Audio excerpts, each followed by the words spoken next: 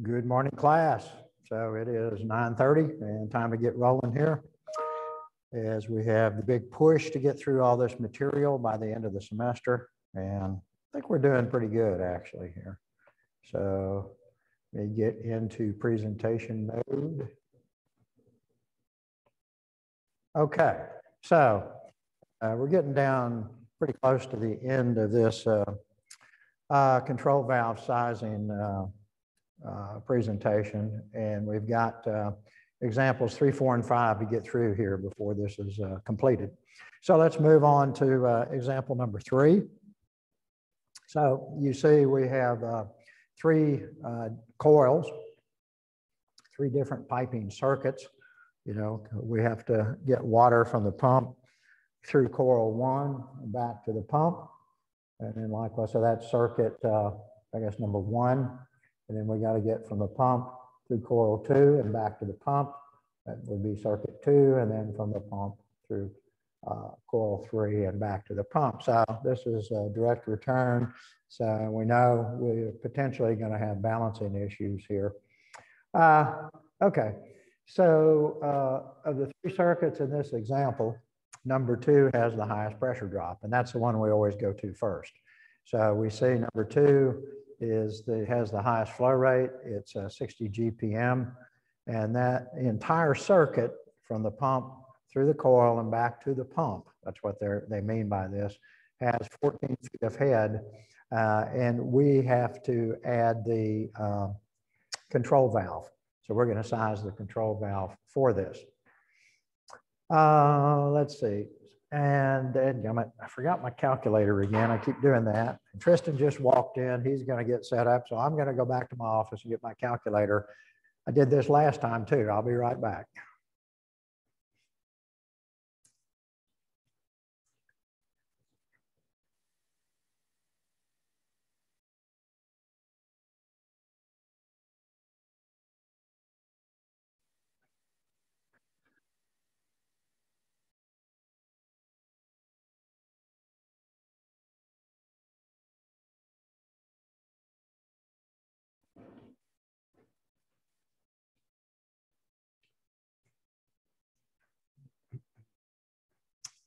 Okay, I am back. So uh, bullet two here, selecting the closest available valve for a uh, greater than 10 foot pressure drop at 60 GPM. So the result of that, he says, is going to be a two inch valve with a CV of 26.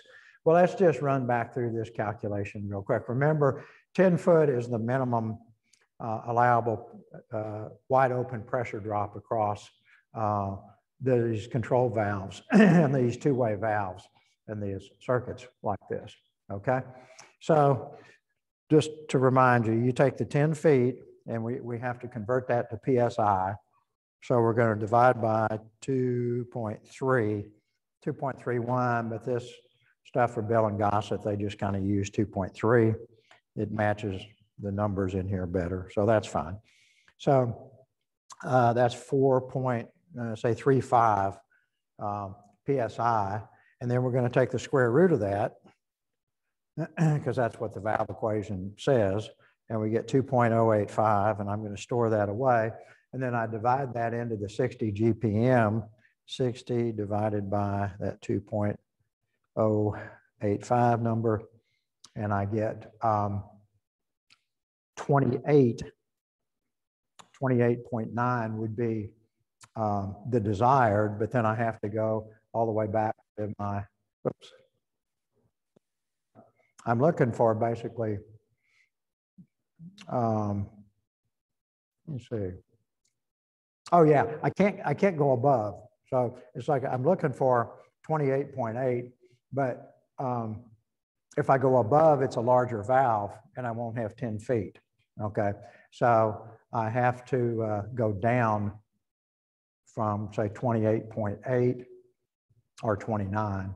Well, it's not 29. If it was 29, I could, I could use the uh, two and a half, but I can't because that's a little bit too large and I won't have my 10 feet and so I won't meet my de design criteria. So I guess the next one is what, 26? Uh, I think 26 is the next one on the list. So we go back to here. See, we've selected the CV of 26.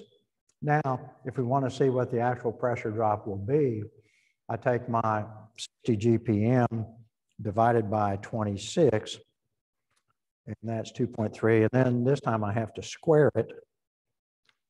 Uh, and then I have to multiply by 2.3 to get to feet of head from PSI times 2.3.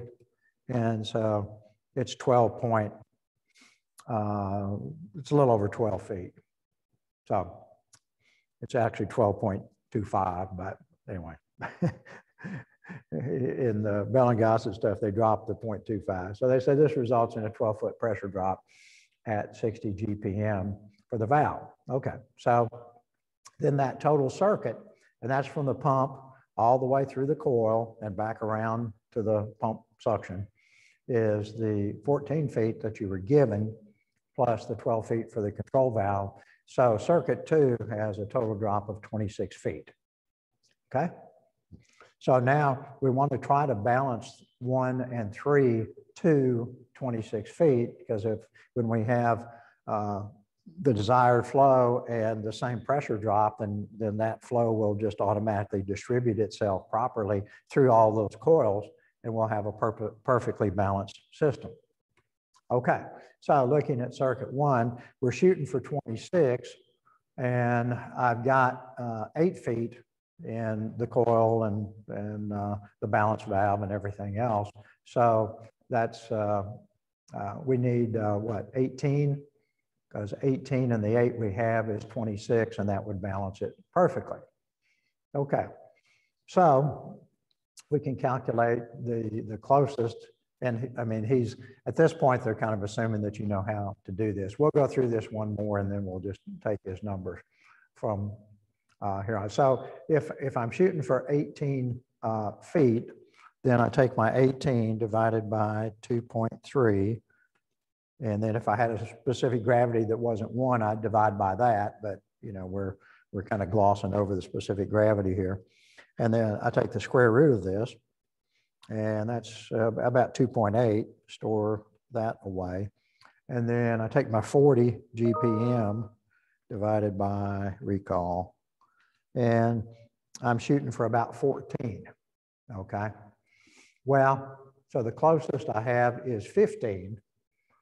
And so it's okay on this circuit because I, I, mean, I'm well above 10, so I can go up or down in CV in order to match as close as I can.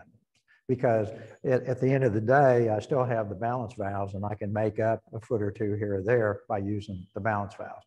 So the closest to this 14.3 is 15. So I'm going to choose the 15. So then I want to know what my actual head loss is across that valve. So I take my 40 GPM divided by the 15 equals this, square it times 2.3. And um, I'm getting 16, I'm getting 16.4, but anyway, they've listed this as 17.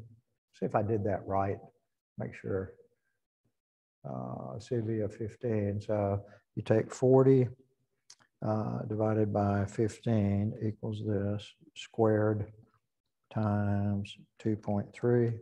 Yeah, I did it right. So anyway, they list 17 in the presentation, so we'll go with that. Um, so that says that the uh, total number one circuit with that valve, control valve wide open is going to be 25 feet. So I'm a foot short, but I got a balance valve, so that's not really an issue. Um, let's see. So that's, yeah, that's all in number one. Okay, then we go to number three and we go through the same procedure. Um, and so we require, um, the calculation says we're shooting for 11.4. We've got an 11. So that 11 gives 17 uh, foot pressure drop uh, at 40 GPM.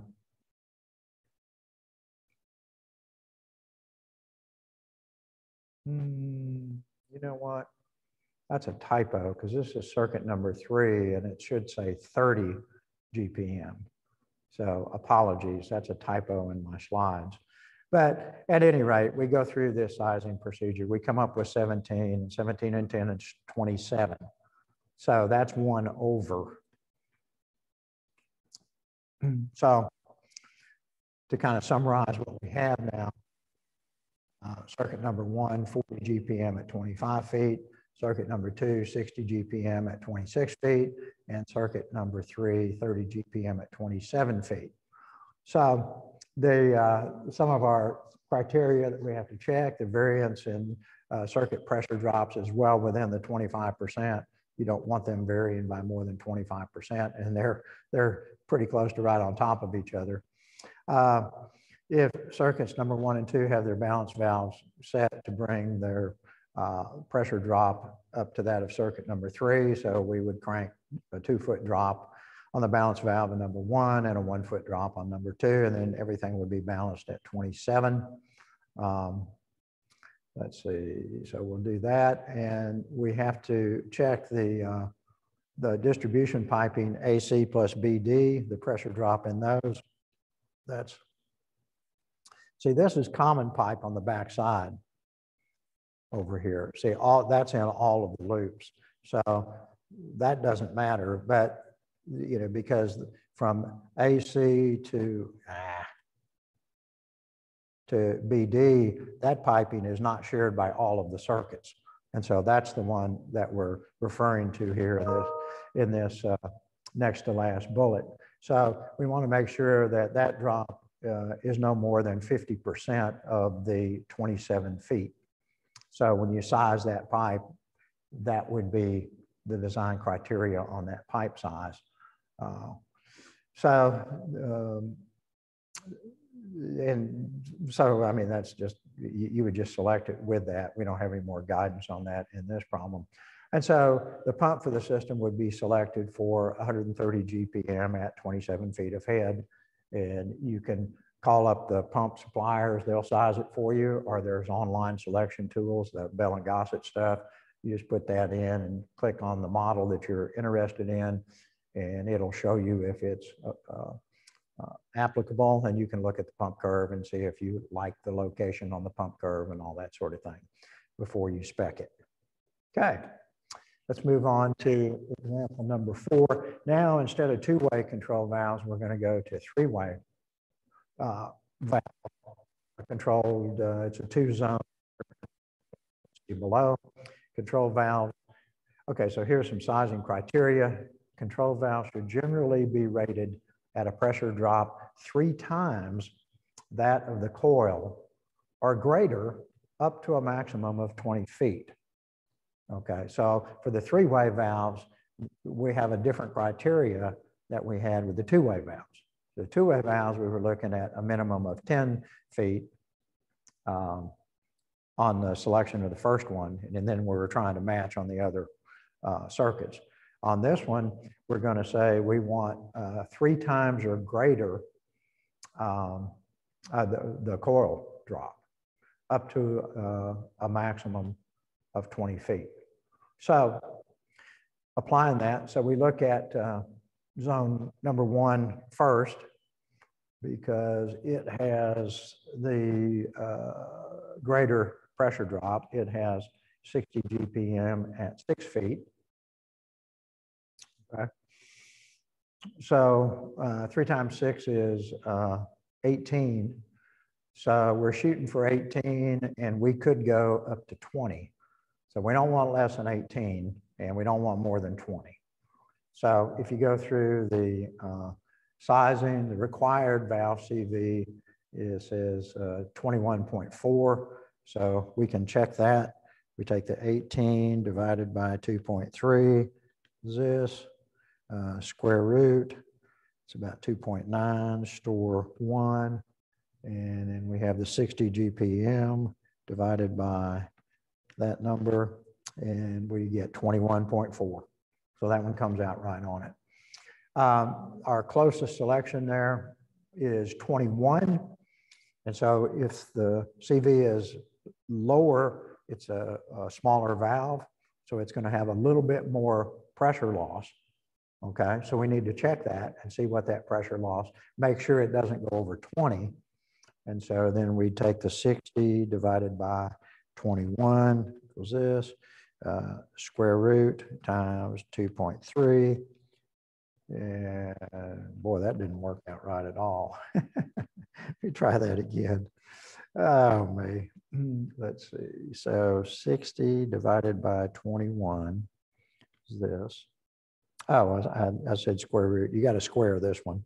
It's easy to get confused. Times 2.3. Yeah, uh, 18.78. So that rounds to 19 comfortably. So that's correct. Okay, so we're going to put uh, in that first circuit, that control valve is going to have a CV of 21, and that'll give us a 19 foot drop, which is more than three times the coil. So we've met our design criteria on On these, uh, they give you the breakdown on the circuit. On those first three, you were just given a total. Uh, so here we see the coil, and it's because we're, we're sizing these based on the coil drop. So they have to provide that information separately. So we're seeing the coil uh, six foot, our control valve we just sized to 19.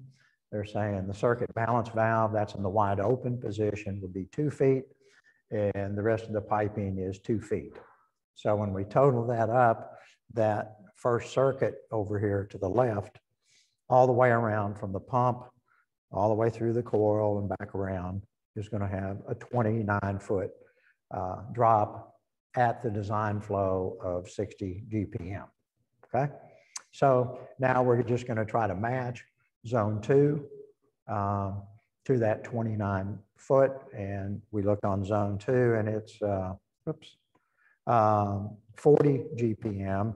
And that coil is, uh, has a five foot drop. That's the coil selection. Okay, so three times five is 15. However, we can go above that as long as we don't go above 20. Okay. All right, so uh, if you look at uh, zone two, uh, everything that we know, the coil is five, the uh, balance valve wide open is two, and the piping is another two. So we've got nine feet total, and we're shooting now for uh, what, 29, okay? So a valve selected for 20 foot, which is okay, we can do that uh, at 40 GPM. So you know, we can calculate what the CV is. I mean, they, they show it there, but uh, let's see. So 20 feet divided by 2.3 equals this. This times it's square root 2.95, store one, and that's 40 GPM divided by recall one. Yeah, 13.6, and they're rounding all this stuff to 14. So that's what we're looking for. Uh, in this case, we've, our closest match in our little table back there is 15, which results in not quite 20, but it's still more than the 15, which we need for controllability. And so the 15 is fine. So that gives us the 17 foot drop at 40 GPM. So let's see, did we get a, no, we didn't, we just have to add that to it. So we had, uh, let's see, so what, nine and 17 is 26. So we're going to have to use the balance valve to make up that other three feet by just cranking that shut a little bit. The test and balancing guys come in and measure that and crank it in and measure the flows. And, but it should, it should work if all of our other uh, pressure loss numbers are correct. Okay. So that's what we would do on example number four here. Oh, we're not done. uh, he's got some more notes on this. Uh, the uh, bypass balance valves on both zones must be adjusted to simulate the coil pressure drop uh, when the no load condition occurs. So they're, now they're talking about these. So actually we have two balance valves in there. This one is to simulate the coil to make the bypass pressure loss look just like the coil pressure loss. So that's what this is referring to, these two guys. These are the circuit balance valves that that we were going to have to adjust three feet into this one. This one would stay open down here. Okay. So the bypass valve on zone one should provide six foot of drop because that's the coil drop at 60 GPM. and zone two should give what, five foot at 40 GPM. Oh, and we can calculate the required CVs for those because those valves have to be sized as well. And so uh, let's see. So we want uh, six feet. Okay. Uh, so six divided by 2.3 is 2.6 square root 1.62 store one and then we take 60 divided by that and we get 37 so that's correct and then on the second one we've got five feet so we take the five divided by 2.3 so this square root store one and now we've got 40 divided by that 27 so those are dead on for the CVs. On the bypass balance valves, that's what they would have to be set for. Okay. All right, last example. Uh, this system has three air handling coils controlled by three-way mixing valves. Uh, control valve on zone two, size first, because it's got the largest drop. So it's got six foot drop at 200 GPM, pretty good size coil. Um, at the three to one ratio. So three times six is 18. So that drop can any, be any place from 18 to 20. And you can go through that calculation, but the required valve CV is 72. And the closest we can come to that uh, is 68. So that's a smaller valve, larger drop. So we have to make sure we don't go above 20, but when we check it, we get 19. And so bingo, we've got the sizing done for that control valve on number two. Okay, so then we look. So the coil is six, control valve 19, uh, the open balance valve is two, and the piping is four. So we've got 31 for the total zone drop. Uh, assuming that zone one and zone three each have the same piping and balance valve, wide open pressure drops. They're balanced as closely as possible to zone number two. And you should punch through all that. I mean, Ollie, you, I'm not going to go through each one of those. We've been through quite a few of them. But you should check that and make sure that uh, you agree with the uh, control valve sizing and the uh, CVs. Okay. Uh, let's see, we're just about done here. Uh, to maximum design balance, the total valve plus coil pressure drops should be equal for all zones. Uh, or certainly as close as you can get them. Minor differences can be made up by mechanical balancing. We've talked about that. Bypass balance valve should be set to create the same pressure drop as their respective coils. We saw that on the previous example. And then the total pressure drop of the distribution piping uh, AB plus B, uh, C, D, in this case, should not exceed 50% of the individual zone pressure drop. So um, if we assume a piping length here, so we're saying that we've measured on the plans or whatever, uh, and that should be AB, there's another mistake, AB plus CD, uh, that length is 300 feet the uh, total pressure drop allowable then is uh, five foot per hundred because we've got roughly, we got 31. So 30, half of 30 is 15. It's really 31. So it's actually 15 and a half. But uh, so then if we're 300 feet, if we're five foot per hundred, then three times five is 15. So that would be allowable.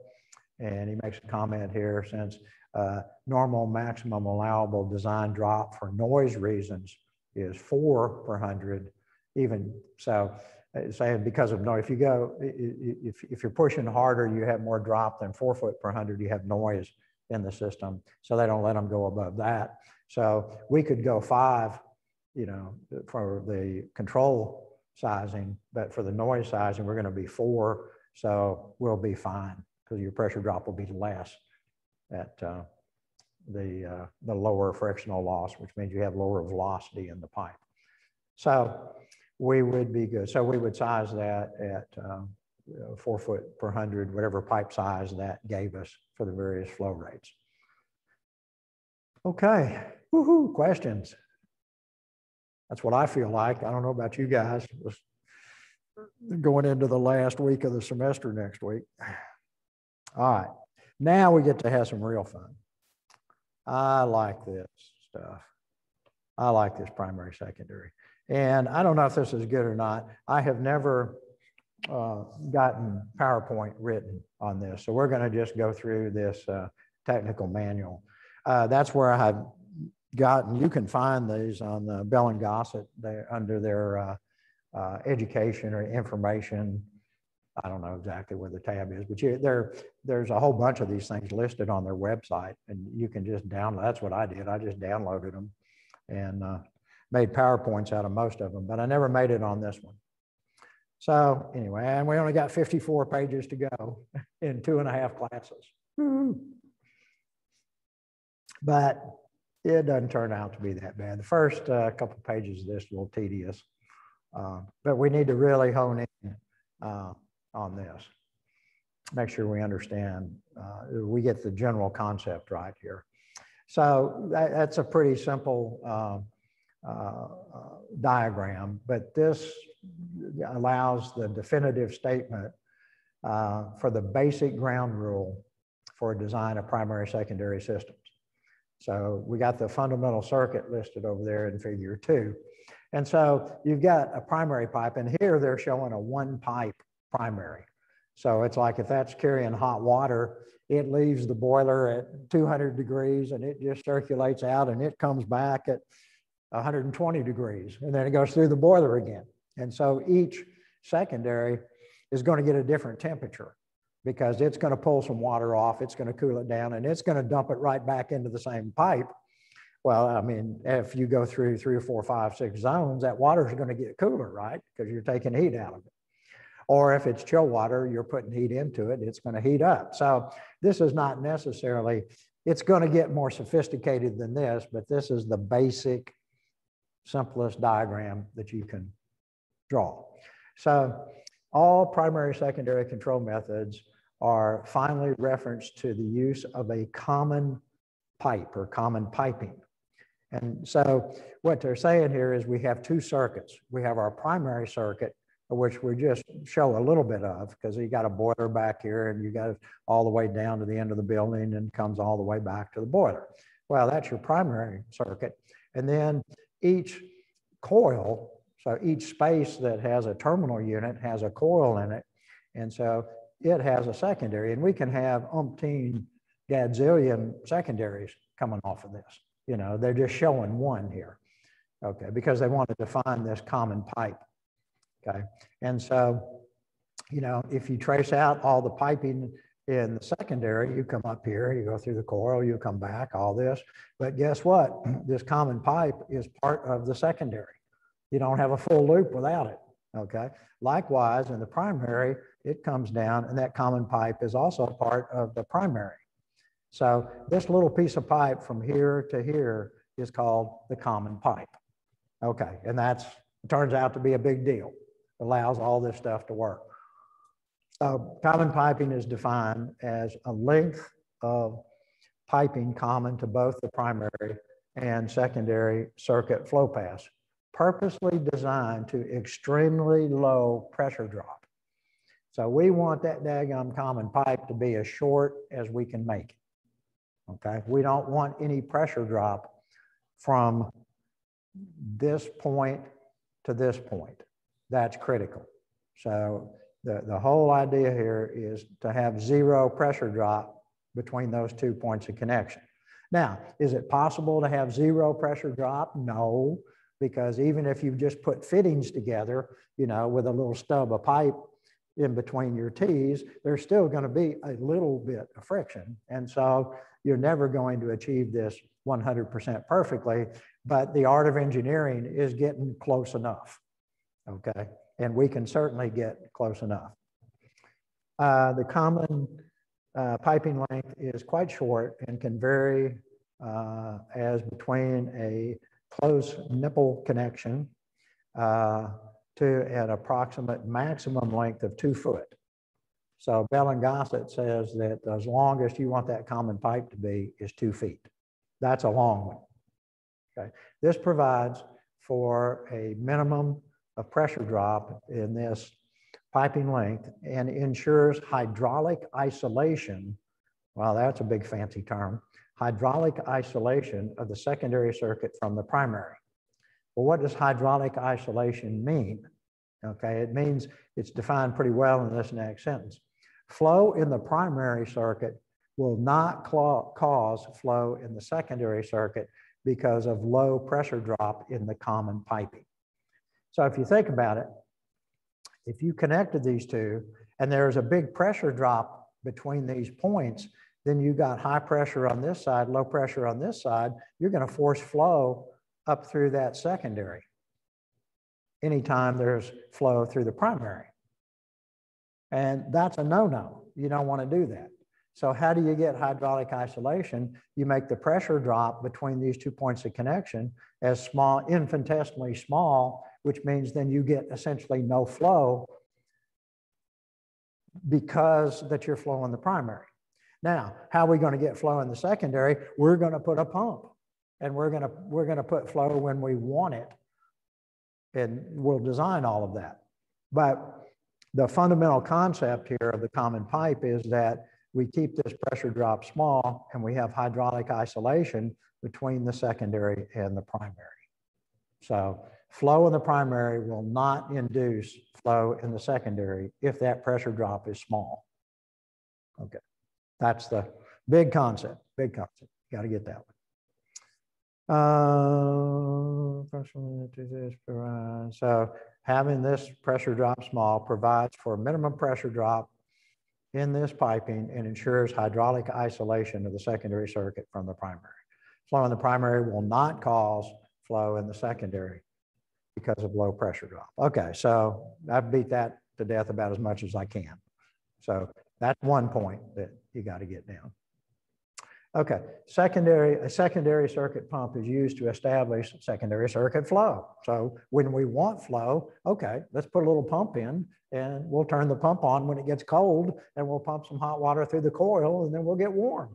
So that's pretty, pretty straightforward. So this is the way they, we show it, okay? Now let's look at the notes on this.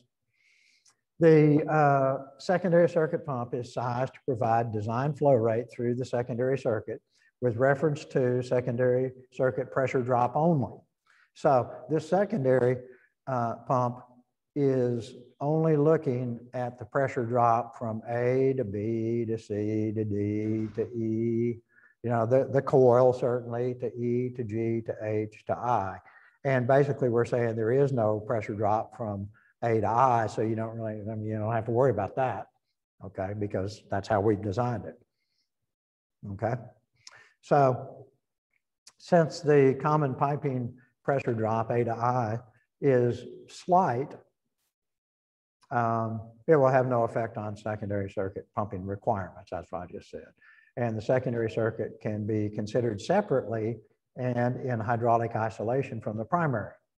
So this is a big deal because then, you know, if you got a huge building, you can have your de design team, one team's designing the primary, and you got 15 teams designing all these, these secondaries, and they can go work independently and then bring the results back and merge them together. So that's, that's one benefit. Um, in primary secondary application, the primary secondary circuits are treated separately. Uh, secondary circuit pump heads have no effect on the primary circuit pumping head requirements and vice versa. So, you know, you can turn on and off the secondaries as you wish, and the primary doesn't know anything about it. Now, if you turn off the primary, you know, the pump won't care, but if you don't have primary flow, then you won't have heating or cooling, so the zones will care. So, but, but the pumps are, are isolated from each other. This singular fact permits on uh, the large system as though it were, were a small system. The function of the primary circuit uh, simply becomes one of heat conveyance to or from the secondary while the secondary circuit serves uh, the terminal heat transfer units. So if it's a heating system, the primary takes hot water from the boiler, makes it available to the secondaries. The secondaries can take some of it or not, depending on whether they need heating. And so that primary loop is conveying heat out, making it available. And then, like I said, the secondaries take it if they need heat at that point in time or not. Uh, since secondary circuits are energy head isolated from uh, large primary pumps, the control problem in the secondary circuit is minimized. Uh, pressure ratio increases across control valves, et cetera, can be set low because secondary pump heads are low. In effect, control isolation is achieved with a remarkable decrease in operating problems. So what they're talking about here is a lot of times these primary pumps uh, are pretty high head. They develop uh, a pretty high pressure. And so if that pressure affects what goes on in here, then that high pressure affects control valves and all that stuff that are back up here in the secondary. But, you know, you could have a high pressure at A and a high pressure at I, and there's no differential pressure. So then this, that high pressure does not affect the control valve sizing in the secondary. And that's a big deal as far as controllability and keeping your control valve costs down and all that sort of thing. So another big advantage. So, you know, if you get out there and you're designing hydronic systems for big buildings, this is what you're going to be doing, some form of primary, secondary. Um, the simple design procedures that will follow uh, rules and definitions will establish other uh, design advantages. Okay, so some of these advantages are designed to deep primary circuit temperature drops with corresponding reductions in primary pump and pipe size. So let's go down to this figure because this is this is the way this stuff usually gets put in. So my primary is down here. So this is my primary supply line.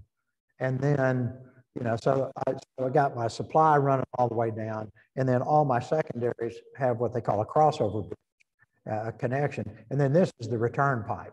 So they don't really pull out of the, the one pipe primary and dump back into the one pipe primary. So this way you can get the same temperature water to all of your secondaries. Makes it much more controllable. Now it's possible to design a one pipe primary, but you don't see them. I mean, it's not done very often for the typical application. This is what you see. So this would be the supply, primary supply. This is the primary return over here. And then we put a crossover bridge in between that's balanced for whatever maximum flow this guy needs up here. And so it's flowing down here and then the pump can either take it or not take it. And so it's gonna, it's gonna tap off here and it's gonna wind up over here in the return.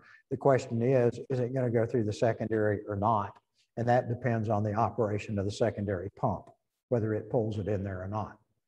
Okay, but so by doing this, I could have 250 degree water over here and put that in my crossover bridge. It, but I don't really want to put 250 degree water through my coil. And so what you can do is you can have this pump pump more water than goes through the crossover. And so the crossover flow actually takes return water and brings it backward and mixes it at this T. So then you can temper that water instead of 250, you could, and we'll talk a lot about this as we go through this. But so instead of 250 water, you could put maybe 150, 170, 180, which is more appropriate to go through the coil. And then when this pump runs, that tempered water goes through the coil and then comes back and part of it goes back to the return and part of it recirculates to mix with more 250 degree water at this T. But what that allows is a big temperature difference on your primary. 250 and this might be like 140 coming back. The bigger that temperature difference, the smaller the flow rate and the smaller the pump and the smaller the pipe to convey a given amount of energy. And so that's what this first bullet point is referring to. Primary circuit temperature drops with corresponding reduction in primary pump and pipe size. So that's a huge advantage. Now, you don't get that on the cooling side because you can't, you can't make water minus 20 degrees because if you do, you have a hard time pumping it. Now, some, some places do uh, do that with uh, for freezers for like glycol systems. So you can take a glycol solution and make it really, really cold and provide that cold flow to a freezer and food processors and things like that that have these large freezers do that sort of thing. Okay. Um, but for general air conditioning, we're probably the coldest water we're probably going to make is really cold water would be 38 to 40, and most of the time it's 42 to 45. And so you don't get all of this. You, you can't jack the temperature way down on the typical chiller for air conditioning. So that applies primarily to heating.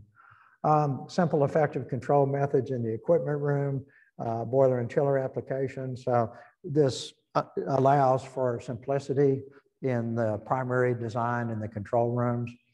Uh, outside air handling coil design methods for freeze protection. Uh, come right along with this primary secondary uh, technique and application to uh, heat cool zone switchover. So we'll see some stuff on that later on. Okay. Uh, location of the secondary circuit pump. So this is primary secondary rules and definitions. Okay, the secondary pump should always discharge into the secondary circuit.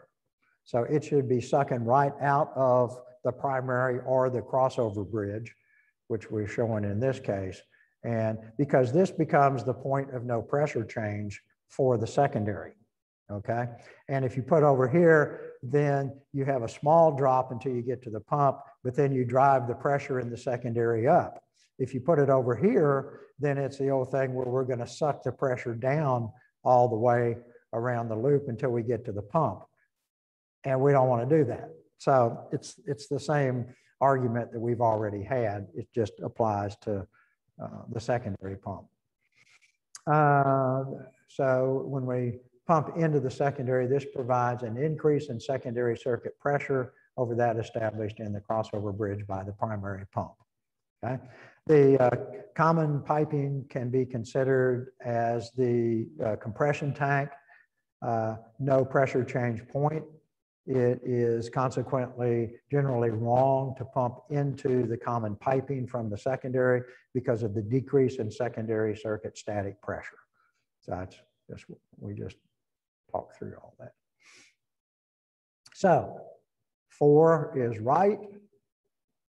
These are pretty good. This is an excellent document. It's a little tedious at times, but it's pretty good.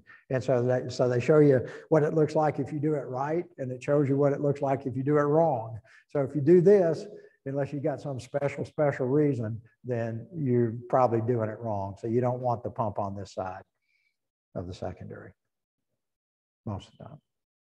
All right, there's an exception we get to later. Okay, crossover bridge. I mentioned the crossover bridge, but so crossover bridge is the cross connection between primary supply main and primary return piping. Uh, it provides primary design flow rate to the common piping. So you go off in your secondary, you run your loads, say it's a heating situation, I need 200,000 BTUs an hour, you know, you have to establish what's my primary uh, water temperature going to be, 200, 225, 250. And then, you know, what am I going to size my coil for in my secondary? So maybe I'm going to have 140 degrees coming out of the coil. So then that's my, you know, I've got a delta T to work with there. And so I can figure out uh, what my flow rate needs to be. And then, so I size this uh, crossover for that. So that's my crossover. And then here's my connections to the secondary, and there's my common pipe in between. And so then the common pipe is really between, I mean, it's between the primary through the crossover bridge back to the primary and the secondary. So it's in both of these circuits, that little piece. Uh, the bridge contains balancing valves and may contain a flow indicator. Uh, it's quite often underslung to simplify initial air venting problem. Okay, so this is uh, uh, an underslung crossover, and this would be an overhead crossover. So they get designed both ways depending on the building and how much room you got and where they can run pipe and all of this sort of thing. Okay. This is really preferred for air venting because say any air in the secondary, if you got your velocities, it's going to make it up to the crossover bridge and then it can rise, you know, because that air wants to rise through the water. It's easier to get it into the primary return and the primary return should pull it back to what? The point of air separation. And then it goes, you know, either to the compression tank or it gets vented from the system if you have automatic air vents. Okay, so that's pretty good.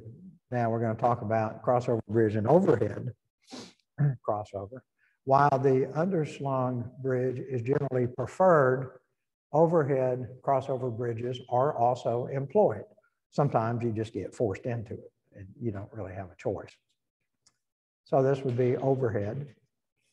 The uh, overhead crossover bridge cannot become airbound and will continuously purge air, providing the piping pressure drop from the primary supply main to the primary return main are this delta P that we're indicating on this diagram. So the delta P between here to here, because you're going to have more pressure on the primary side than on the return side in this primary loop.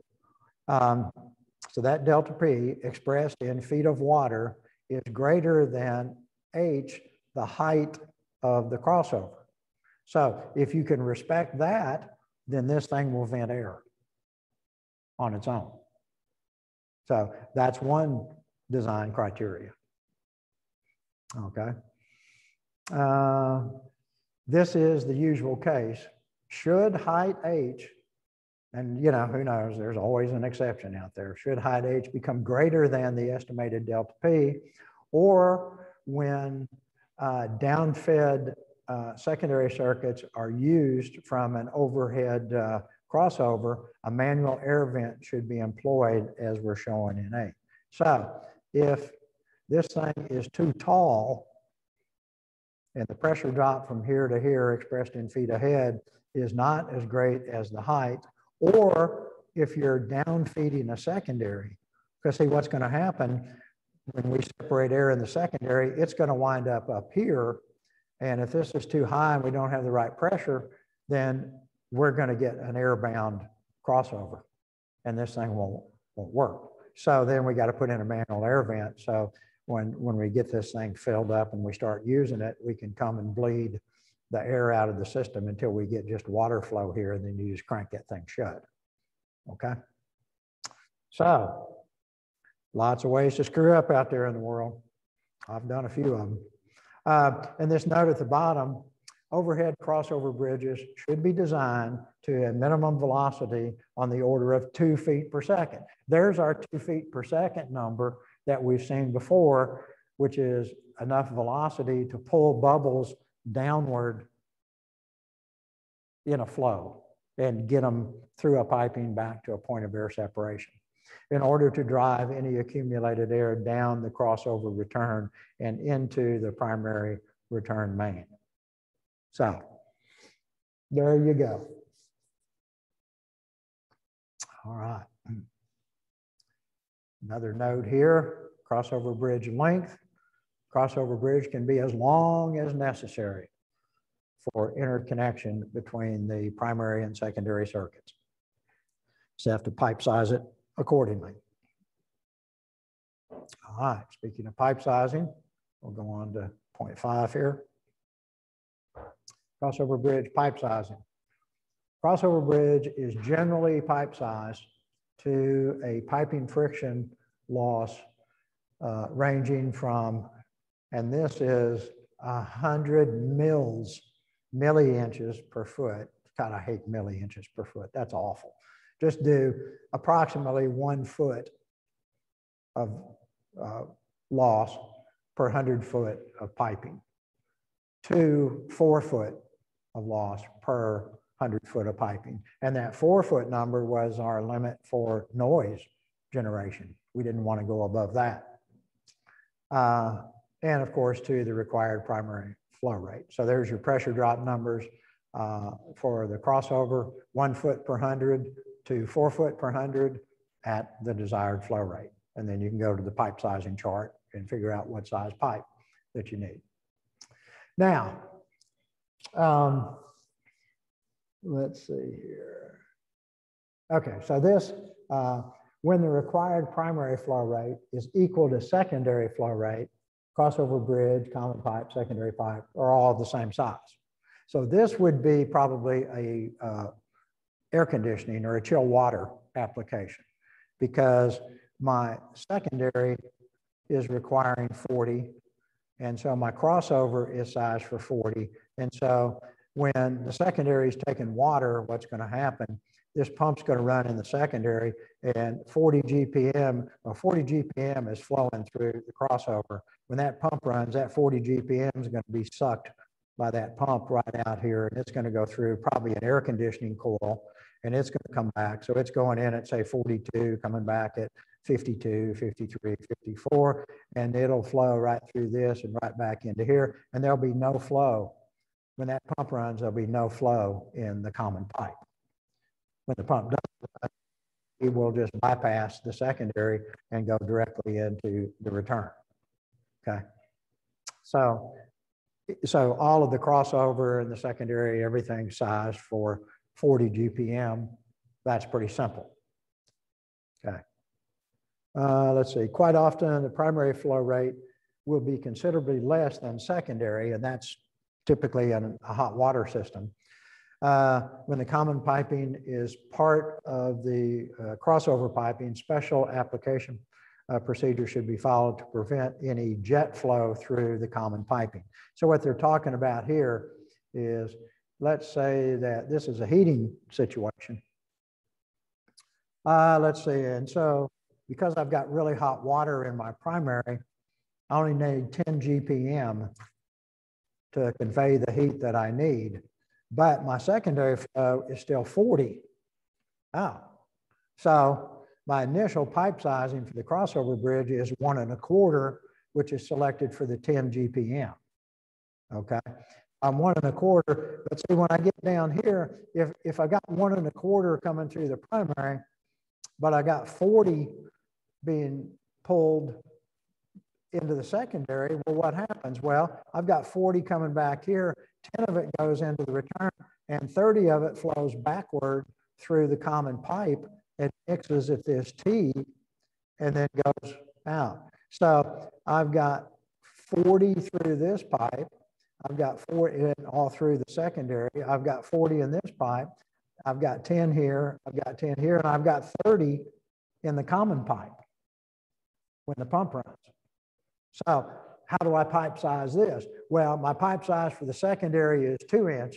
And so what they're saying here is, look, we gotta, we gotta uh, expand the pipe size for the common pipe and in the vicinity of this connection. So, you know, and this could be, you know, this can be as long as necessary. So you don't need the two inch pipe up here because it's only carrying 10 GPM. So you're one and a quarter down here and you get what? Two inch pipe, eight diameters upstream, you do the expansion. And then you've got two inch pipe and you're going four diameters downstream on this side. So you run two inch pipe there and two inch pipe is all in your secondary. And then the rest of this is one and a quarter. Okay. So those are the rules if you have that. And if you have a heating system, you're probably going to have this situation because we're going to be supplying that really hot uh, primary water to downsize that pump and all that sort of thing that we already said. All right, so common pipe length and flow characteristics. Common piping is designed for a minimum pressure drop, and we've already said this, is uh, the length between a short nipple and approximately two feet, as short as possible. uh, common piping flow rate and direction characteristics will be established by the relationship between primary and secondary flow rates. Three basic situations can occur. Primary flow greater than secondary, primary flow equal to secondary, and primary flow less than secondary. So, well, we'll talk about that first one here. An illustration uh, of each will follow. A is primary flow greater than secondary flow. We got in figure 12 right here. Uh,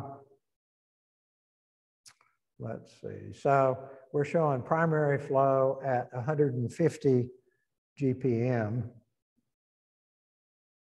Okay. And then we're showing secondary flow at 100 GPM. Well, so at this first T, what's going to happen if the pump runs, I got 150 coming in, I got 100 being pulled out by the pump, and so I got 50 continuing on through the, the, the common pipe, and we'll just head on into the return. Uh, this 100 that gets piped around the secondary will then come back in and merge with this uh, 50 that went through the common pipe, and they'll mix and so I'll have my 150 primary return. Now, I don't think, I don't think this gets used very much because why would you just design this thing to waste basically 50 GPM of primary water? What you might do, um, just to make sure that you had enough, you might size that for like 110 or something. And then because maybe you're maybe your secondary pump is, you know, I mean, nothing's perfect, you know, so you, you have a little extra supply there just to make sure that you can get your full uh, desired temperature into. So this would probably be like a chill water system, you know. Um, say I got 42 degree water, uh, you know, uh, I, I want my, I want to be sure I get my 100 GPM of 42 degree water. So I size that crossover for 110 and I'm willing to waste 10 you know, potentially, something like that. But at any rate, and then they, he goes crazy here. He calls this the, the, the, the, the law, the T, the T law. Well, for mechanical engineers, the T law should be pretty simple. Conservation of mass, right? 150 GPM in, 100 GPM out. Gee, how much is in this pipe? I think 50 GPM and it's going this way. I mean, that's what the that's what the T law is. So that's pretty simple. We can handle that. Okay. And so this is showing in great detail on this one. So 150 in, we pull 100 out here. We got 50 coming through the common pipe. We put our 100 return back in here. They mix here and go back. Uh, uh, hold on a second. I'm getting a call here. I got to take. Hello? Yep. Yeah. Yes, sir. Oh. Oh, perfect. Oh, man, I appreciate it. Oh, that's perfect.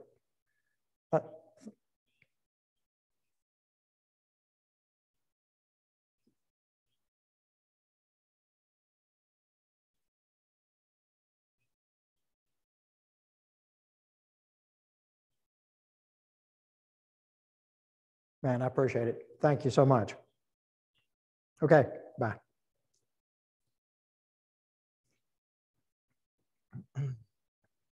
Sorry, I had a flat tire this morning and my car laid down on me and took a little hike and did all kinds of extra things this morning. But anyway, so that was the repair shop. They got it all fixed and put back together, which is good. Okay. So, I mean, anybody can jump in. Um, I did start recording this, didn't I? Did I start this? Yeah. Thank heavens. I get these little flashes in my mind. Did I start recording this? okay. So if everybody's got a question, you can jump in on this, but this, this is pretty simple stuff right here. Okay. Uh, there we go. Uh, So, okay, let's look at, uh, let's see, what is this common flow? Okay, so this is the second situation where they're balanced. Let's see, is this, yeah, let's just, we don't have to look at the blow up at the T. We can figure that out. Okay, so this is where primary equals secondary. And I mean, this is pretty straight. I mean, this is all pretty straightforward once you kind of get to the concept. So crossover size 400 GPM. Uh, so it'll be flowing up here. Pump runs, we're gonna pull that 100 GPM uh, up through this T, uh, through the pump. Got a check valve here. Make sure that, uh, you know, we don't have any flow uh, going the wrong direction when the pump's off. Um, goes through the secondary, comes back around, and uh, so hits T, T, TB uh, with the pump running. There's no flow in the common pipe, and then that 100 GPM just goes into the return and back to probably the chiller in this case. Um, so also yeah, we need to note, I didn't note uh, as far as temperature is concerned, but so the temperature here is going to be the same temperature in the secondary, right? Because I'm taking all of the water and I'm pumping it up here. Likewise, I didn't make that comment up here. Let's go back and make sure that we get that straight too. Because I mean, if I got 150 here and I got 100 here, so then the temperature of the water up here in the secondary has to be the same temperature down here. Now, when this stuff mixes together, I'm going to get kind of a mixed temperature over here because I got 50 primary water that's not, not seeing any heat transfer and it's mixing in with the 100. So I get a blended temperature over here that goes back into my return. Here, um, with, the, with the flows equal, you know, um, whatever my uh, secondary uh, circuit exit temperature is will be the same thing as my primary return temperature because you know we put all of the all of the flow through the secondary and it just comes back into the primary. So we, we need to think about flow. We also need to always think about temperature, what's going to happen with that. Okay. And then of course, this is the heating example, which is of great interest to us. So here we're going to take, say, 50 uh, GPM of uh, primary flow, and it's going to come up here to this T. And then when this pump runs, it's going to pump 100. So guess what? When you look at do the balance on this T here, uh, it's got to pull 50 back of this return water that's coming back into this T. 50 of it will go to the primary return, and the other 50 will go backwards and mix this T. And then, so the temperature of the secondary, it would be, if it's 50-50, it'd be the average of the return temperature and the supply temperature. So uh, if this was what, 120, and let's say this was 200, what's that, 320, so then I'd get 160 here, that would go through my coil. Okay, and so I could have a 40 degree delta T on my coil. So then that would be the amount of heat that I can put into the space. Okay, let's read the notes on this. Let's see if there's anything I'm leaving out here. Uh, the most important characteristic of uh, system design where secondary circuit uh, flow rate is greater than primary is the mix occurring at TA. Uh, common piping flow at a temperature equal to the secondary circuit return mixes with primary water to provide the mixed secondary supply temperature. This most important characteristic provides smooth reset controllability, establishes deep primary circuit temperature drop possibilities, and can be used to great advantage in the numerous primary secondary control arrangements made possible. So understanding this these differences in flow rates and how this water can mix and then be pumped up through the secondary is critical to understanding primary secondary. Uh, let's see. General pri primary secondary design establishes that the primary crossover bridge flow rate will be equal to or less than secondary flow. This means that primary crossover bridge return temperature for the full load condition will always be equal to the secondary return. So we need to, you know, we just need to be able to understand where the temperatures are going to be depending on what this relationship is uh, between these flows. So we, you know, got a certain temperature here. Uh, we have mixing here. So we'll have a temperature up through here. We come out of the coil with a return temperature and then we come down. So what temperature am I going to have over here?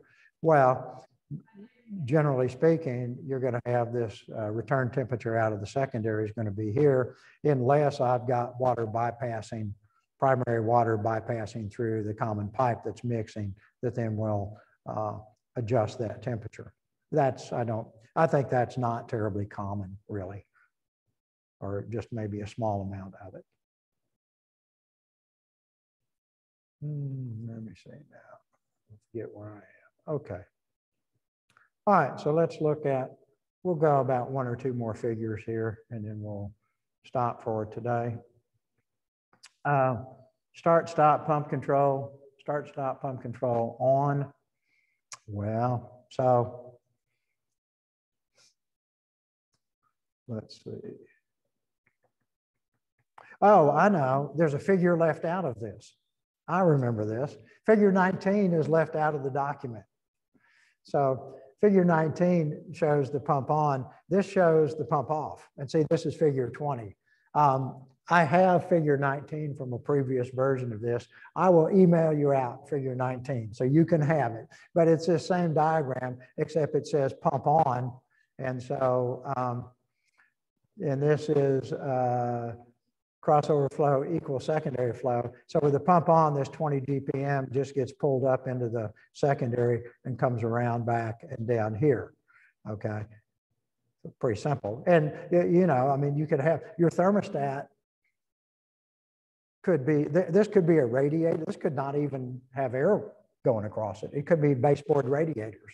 Or it could be a coil that has fan blowing air. You could be blowing the air the whole time and you could be starting and stopping the pump for temperature control if you want to. I'm not saying that that might that might not be the preferred method, but you know, it would work. Um, certainly. And then and then you wouldn't have to cycle the fan coming on, coming off, and all that wear and tear on the fan motor, whatever. Uh, but of course, if you had ventilation air in there, then you would have that cold air stream coming in. And when the pump's off, you'd be putting cold air in the space, which people probably wouldn't like. So I'm not saying I recommend that, but you could do that. You could, your space thermostat could control the on-off action of this secondary pump. More likely that would be a baseboard heater situation where, you know, say in a large atrium or something, you might have baseboard heaters like this with hot water running through them and that heat would rise across all of the wonderful glass that the architect put in there because he wanted it to be so beautiful. And then you had to figure out how to keep them comfortable.